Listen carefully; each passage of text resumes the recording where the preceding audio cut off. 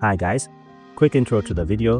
In this video, I'm going to show you how to convert clothing into any character and how to use it with the MetaHuman 5.6 plugin. Uh, this video is specifically going to cover MetaHumans, but you can use the process for any other character as well. We are not going to use any external applications such as Maya or Blender or ZBrush. We are going to do everything inside of Unreal with uh, Unreal Engine tools that are readily available.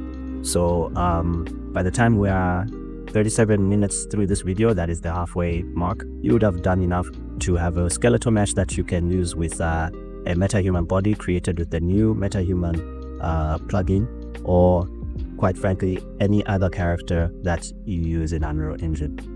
And after that, we will move on to making our clothing compatible with the brand new MetaHuman plugin so that whatever changes we make on our characters are also made to our clothing. So let's get started.